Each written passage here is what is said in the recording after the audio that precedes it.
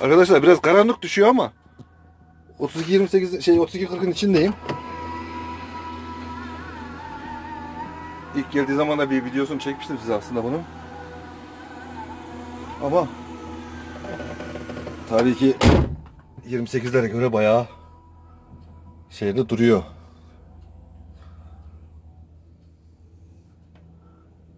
Güç farkı çok arada. Yükte götürmede güç farkı çok. Bu arabalarda ne olacak? Ee, trafik sorunu olmayan yerlerde, kısa yerlerde, mesafelerde, e, ocaklarda falan tonajlı çalışacağım bu araçlarla. Ee, öyle yerlerde e, parayı güzel kazanır. Kısa mesafelerde, e, ana yola çıkmayacağın yerlerde bu arabalara tonaj atacaksın. O şekilde çok güzel para kazanır. Yoksa diğer normal şartlarda çalışırsan diğer kamyonlar gibi ana yola çıkacağım fazla atamıyorum şöyle böyle dersen o zaman pek bir avantajı yok.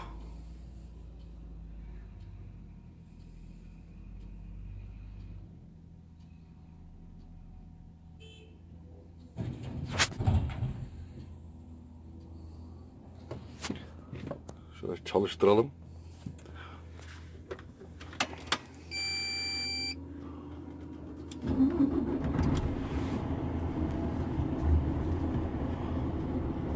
Arkadaşlar bunun fideslerini de göstereyim şöyle. Ee,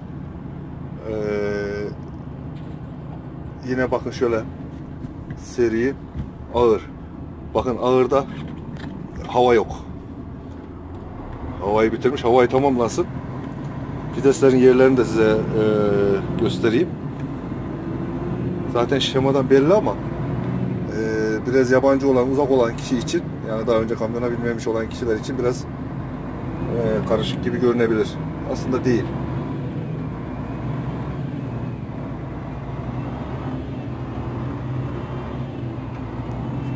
Bakalım geçecek mi? Yok. Daha olmadı. Aslında hava saati de kalktı ama yerine geldi ama.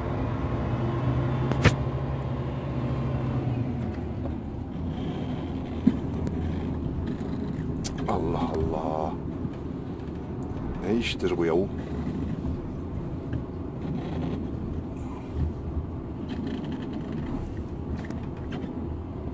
Bakın arkadaşlar şu ekrandaki niye yazısını görüyorsunuz değil mi? Büyük niye?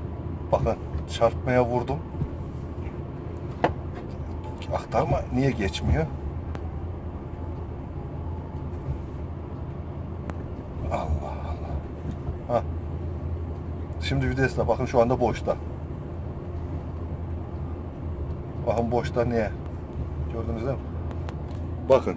Şimdi vitesler 1 2 Zaten ittirdiğin zaman direkt otomatikman 3 4 Çarptık. Vurduk. 5 Geri çektik 6 Hafif yatırıp ittirdik 7 Tam geriye çektiğimiz zaman hafif dışarıya doğru bastırarak 8 Bunlar da ağır şeyleri, takviyesi arkadaşlar. Çok ağır tonajlarda. Eskiden şöyle kullanırlardı. Ee, bir takviye, bir düz. Efendime söyleyeyim iki takviye, iki düz. Böyle giderlerdi. Ama şimdi onu pek yapan yok. Bu arada bakın bunun yeri öbürüne göre bayağı fidesin yeri farklı.